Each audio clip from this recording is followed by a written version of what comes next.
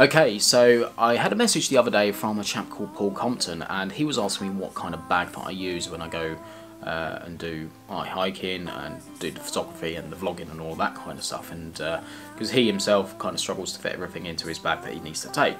So um, whilst I was chatting to him, uh, I, it suddenly occurred to me that I've not actually done a what's in my bag video for just my um, the equipment that I take with me when I go hiking and stuff. And uh, so I thought I'll take this opportunity to do that and I'll also, a little bit later on in the video, I'll be doing a little bit on the new equipment that I'm using at the minute. So one of the things that I've, I've got is now a Canon M50, which is one of the new Canon, Canon cameras out and I'm using that for all the vlogging. So we're just going to go through why I chose that and also there's a few other little bits of equipment and also software that I'm using now as well. Okay, so first things first, let's get on to the hiking equipment. Absolute beast. Yeah, it looks like a lot, and it probably is a lot, but uh, kind of essential for what I need. So I'll just go through it all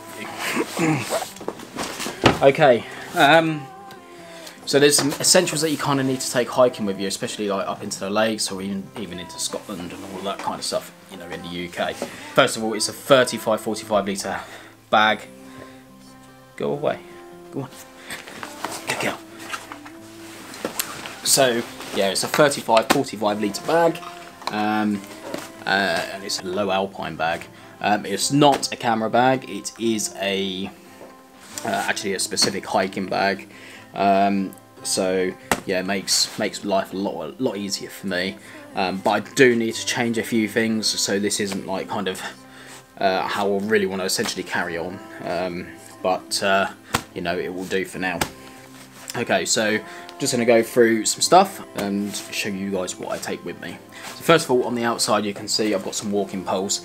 Now if you're going into the lakes or into any kind of mountain area, poles, to me, they're essential, not to everybody, um, because you know it, gives great stability. And when you've got a big bag like this on your back, you really want those uh, those poles really, uh, and especially if you're on slippy ground as well, just gives you an extra little bit of purchase and something to stab into the ground.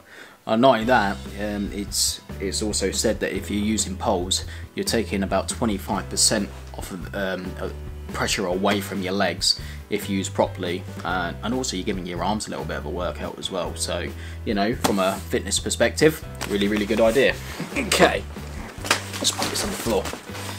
Right so as you've already seen in my vlogs before I use a Manfrotto 190 Go tripod.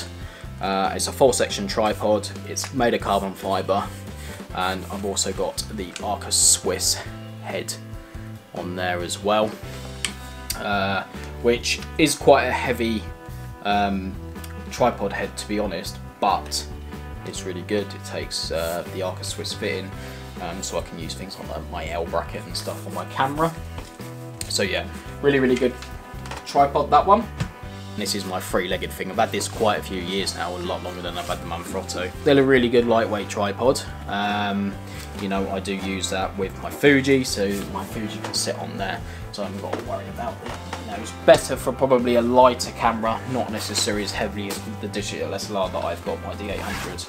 So, okay, so that's me tripods. Um, in the back part here. I keep my filters.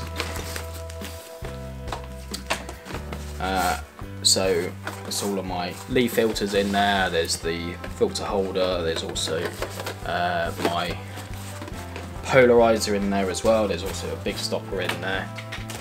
Um, map, compass and map case. Very, very important if you're venturing off into like the lakes and stuff, very important that you take one of these and master how to use one because the amount of people that get lost and they're relying on their phones, GPS and all that kind of stuff, sometimes technology goes wrong and batteries run out and sometimes you can't necessarily get a signal, you know, it's, it's a mountainous area after all, you know, so signals do get blocked and you're kind of in the middle of nowhere too. but this is essential. Learn how to use one. Uh, I'll take like a Lucozade Sport with me as well as a still drink. Kind of saved me quite a few times to be honest because you know if you're getting a little bit lightheaded, which I have done before when I've you know really been getting into the hiking and all that kind of stuff and you're going uphill and then like you know sometimes you're a little bit lacking in sugar and that gives you a nice instant hit of sugar. And also on the outside of my bag I've had to upgrade my selfie stick which goes with my new vlogging camera. Right going in to the top of the bag. Okay so going into the top of the bag um, normally this top pocket I just leave this um, this is currently empty at the moment but there will be food in there there will be enough food that I need to take with me for the day, but also extra, just in case you get into a little bit of trouble. Okay, so this is all falling apart. Okay, right, top pocket. On the inside of the top, I have a Leatherman, which I take with me. Uh, so, you know, you've got your pliers, you've got a knife if you need it, you've got screwdriver bit there as well and also in the pouch there is a selection of other bits. Um, you've got everything there that you need. Very important, head torch. Um, and not only a head torch, you want spare batteries for it. And I also take another spare torch, which I'll go on to in a minute. But yeah, as one of the essentials, um, if you go onto Google and type in uh, mountain rescue uh, essential items for hiking, you know, they will give you the real basic list of what you really need and want to be taking. Uh, because you don't want to be getting caught out. Um, especially the time of the day that I go up, I'll go up really early in the morning and also probably last thing at night. So, you know, you, you definitely want a head torch. Um, you know, it's really, really essential. Okay, so in there, that's just a survival kit. And in here, it's just a real basic survival kit, which, you know, you've got uh, things like a whistle and there's some matches in there. Um, there is a, a, wire saw and down but also a mirror, which helps with signalling for help ever ever need to. And also I do carry a GPS as well, which again fully charged, but never rely on it. It's just a good good way if you're feeling you know you need a little bit more of vote of confidence in your navigational skills. Um, you know this will give you I think it's like a 10 digit 8 digit um, grid reference. I think it's 10 really really accurate when um, you know if that's working properly you know and you're getting a really decent signal okay so in the top I've got my camera bag, that's for the Canon M50. And this is the bit I really want to change because I've just got loads of different camera bags, for one for the drone, one for my SLR, one for the vlogging camera. And I'll be honest, it is getting a bit ridiculous now. Um, and the bags alone are going to add a lot of weight. So um, one thing I am looking at is just trying to buy a camera insert for a bag um, just to go in my hiking backpack um, just to have a little bit, everything a little bit more organised, everything's all in one place as well. So, um, but that's my drone, so I've got my spare batteries on the side in there, and then I've got my drone, the remote, spare propellers in there as well, just in case I need them, and in there, Nikon D800 with a 24 to 70 millimeter lens on there keep my Fuji camera in there as well. And then I've also got my remote. I also take a spare mobile phone. It's not got a SIM card in it, but it's just a spare one that I can take for operating the drone or, or recording audio and stuff. Um, but yeah, there's spare batteries and all that kind of stuff in there as well. So now we're kind of just moving on to like the essential hiking and stuff. So uh, another thing that I need to move on to is I want to try and put everything into dry bags as well. Um, so slowly over time I'm just trying, trying to buy individual ones. And I like these ones the best, but they've got a window on them so you can actually see what's inside them. But if you get colour coded ones, them in all various sizes. So in here I've got a waterproof jacket if I'm not wearing it at the time. Uh, I don't know if you've seen, but I use a lot of Paramo stuff, uh, which I discovered about a year or so, just over a year or so ago, and really, really good stuff. And this is just a, a windstopper against another Paramo one. But yeah, really, really good. Lightweight as well, um, and quite compact. They can compact down into nothing, especially also the other good thing about putting stuff in a dry bag is you can squeeze all the air out of it, wrap it up, um, and not is it kept dry, but you kind of you using a lot less space as well. And in here, I keep spare batteries. So there's a, there's a battery pack in there, as I said earlier. There is also a micro USB cable. That's good for charging my head torch. And there is also my lead for the iPhone, another, and then there's also two packs of batteries. So one of them's got AA batteries and the other one's got AAA batteries. Um, and they are basically for the GPS and also my other torch and this is also a spare battery for the head torch. Water, very essential item, so I keep one in the hydrator, which then you've got a pipe and all that kind of stuff, to saves taking your backpack off and grabbing your water and all that kind of stuff. Really, really good idea. Um, I normally take uh, depending if I'm just going out for the morning or whatever, I normally take a litre and a half plus I've got the Lucozade as well, so I have got two litres of fluids with me. Um, and if it's colder, um, I will take my flask as well, which you know you really want a warm drink, especially when, when in colder weather. We have another dry bag, which I keep. Nice woolly hat, spare top,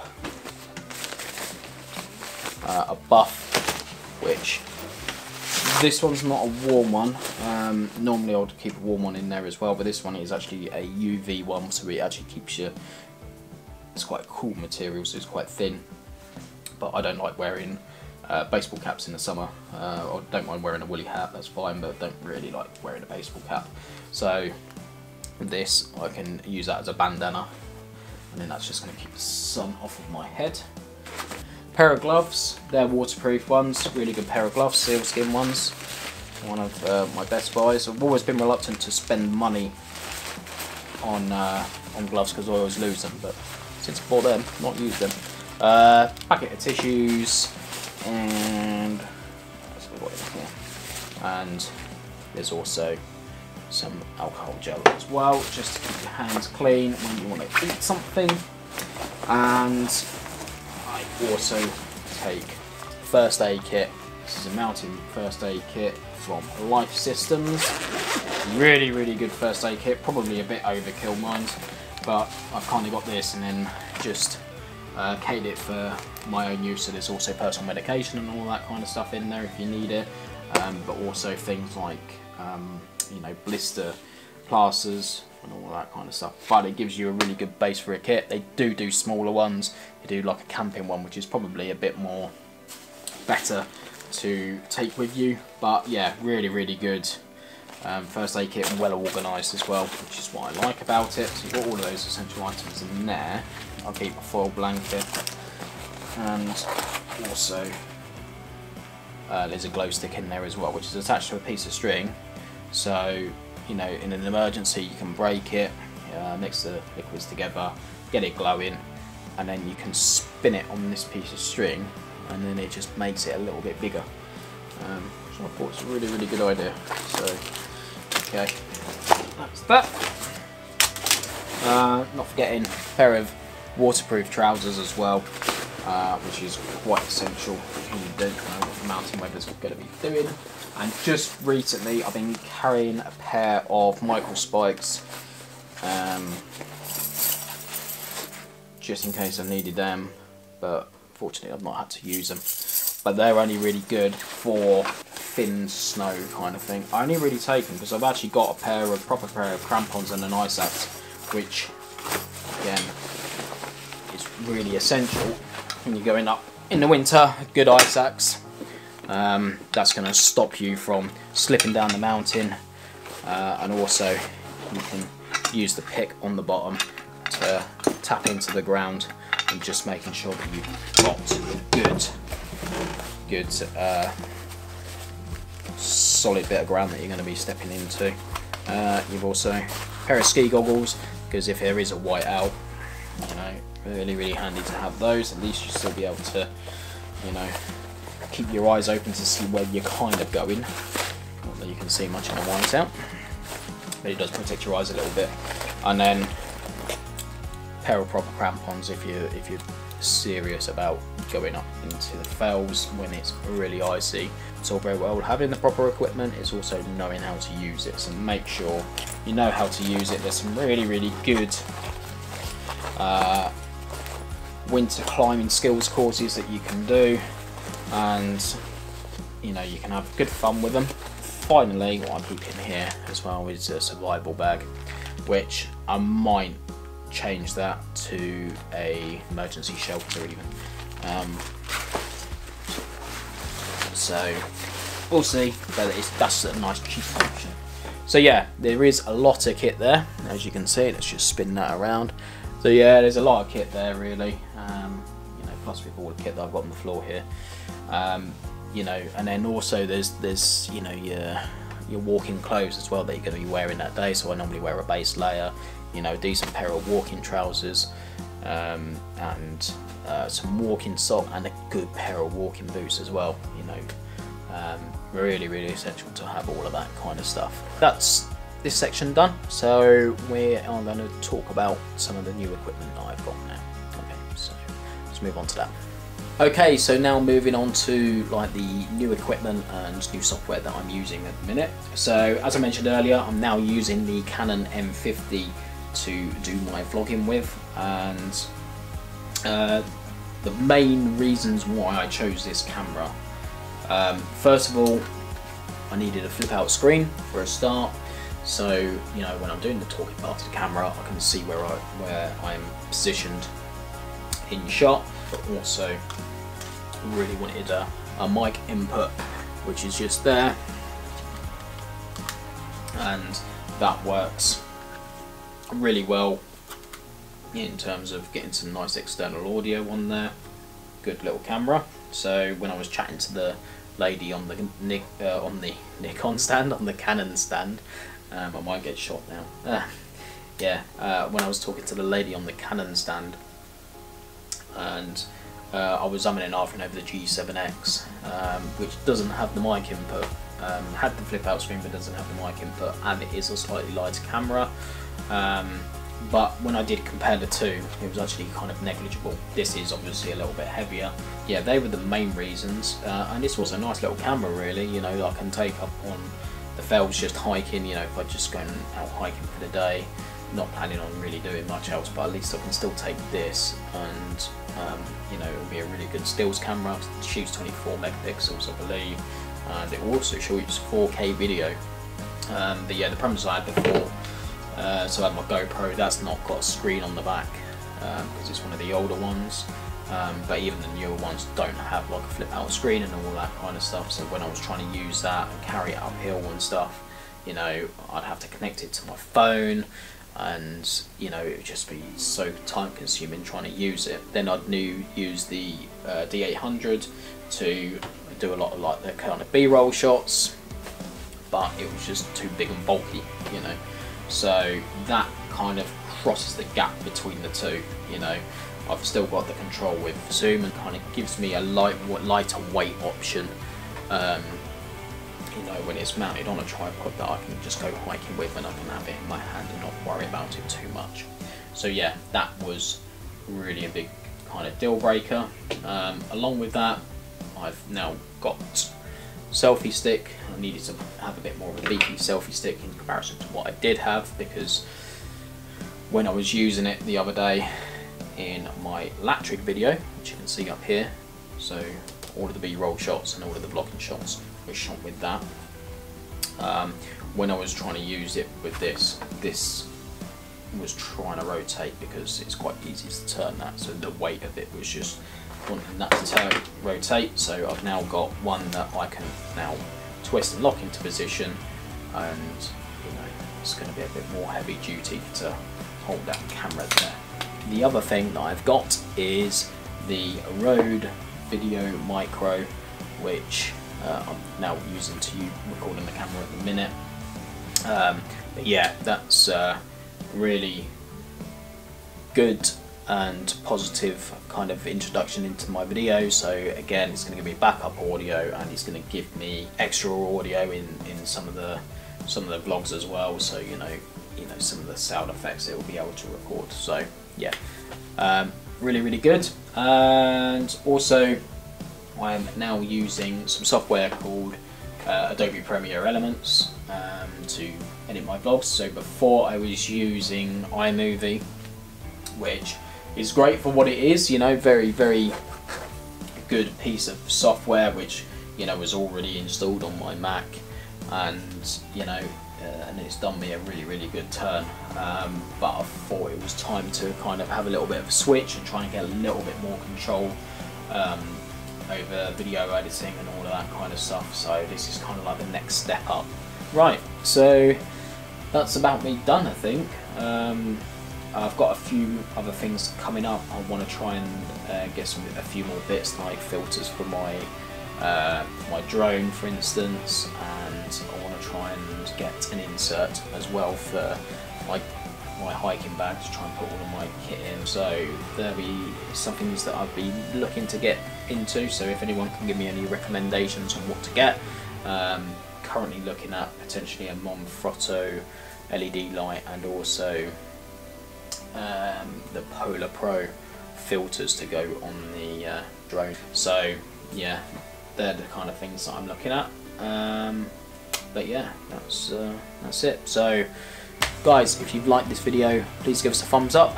Um, if you haven't done so already, please subscribe to my channel. Thank you very much um, to the guys that have already subscribed and for your continued support and your continued feedback. Um, if you want to give me any feedback or ask me any questions, please pop a comment in the comment box below. Um, so until next time.